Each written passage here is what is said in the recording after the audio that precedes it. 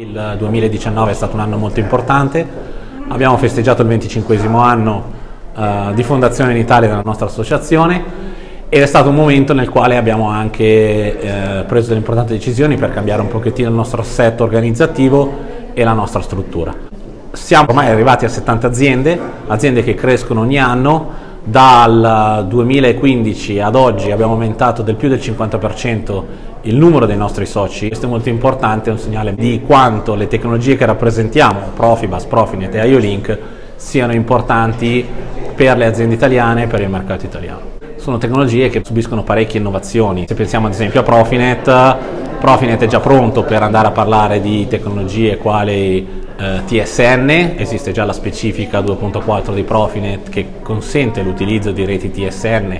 per eh, comunicare in Profinet, anche se oggi un vero e proprio standard TSN per l'industrial automation non è ancora stato eh, completato. Per quanto riguarda eh, altre evoluzioni tecnologiche abbiamo ad esempio evoluzioni legate più, più orientate al mondo del processo, pensiamo ad esempio all'utilizzo di Ethernet anche in zone a rischio esplosione, questo sarà possibile con Profinet tramite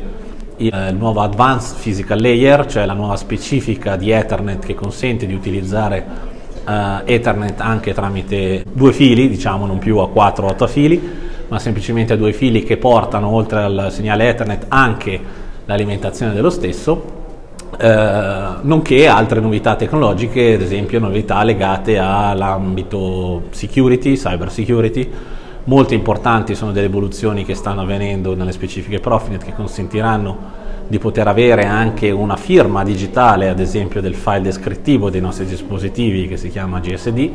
e che mi consente di far sì che un sistema di progettazione, un sistema di ingegneria sia in grado di rilevare l'utilizzo all'interno della propria rete di dispositivi che utilizzano dei file GSD che non sono certificati e che non sono approvati a livello internazionale.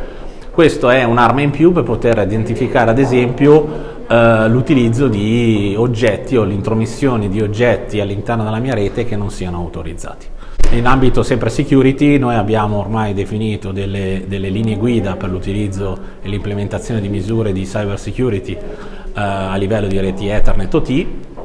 e sono già disponibili comunemente sul nostro sito, si possono andare a, a scaricare. Per quanto riguarda le altre tecnologie, detto che ovviamente Profibus uh, è da anni un leader uh, indiscusso di mercato e tuttora continuiamo a vendere più di 2 milioni di nodi uh, di Profibus al mondo, è importante dire, parlare ad esempio dell'ultimo nato, dell'ultimo arrivato nella nostra famiglia, che è la tecnologia IOLink, che è una tecnologia per interconnettere in maniera digitale apparecchiature bordo macchina, quindi sensori e attuatori, e che eh, mi consente di andare a implementare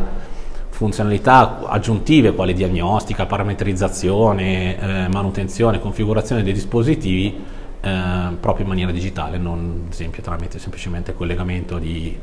un cavo, un segnale 420 mA o 0,5 volt che sia. IOLink anche lui sta subendo parecchi aggiornamenti, parecchie modifiche, sono già disponibili le versioni uh, IO-Link wireless per connettere sensori in wireless al proprio controllore piuttosto che IO-Link Safety per poter andare a comunicare in maniera sicura tra i sensori, è il fungo, classico fungo d'emergenza, e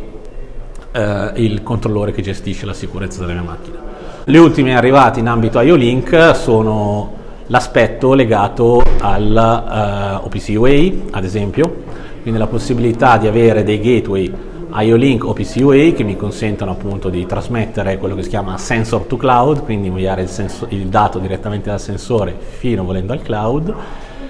e la possibilità di utilizzare ad esempio quello che è, parlavamo prima, quello dell'Ethernet a due fili come eh, mezzo trasmissivo per poter eh, realizzare la comunicazione tra il sensore e il controllore.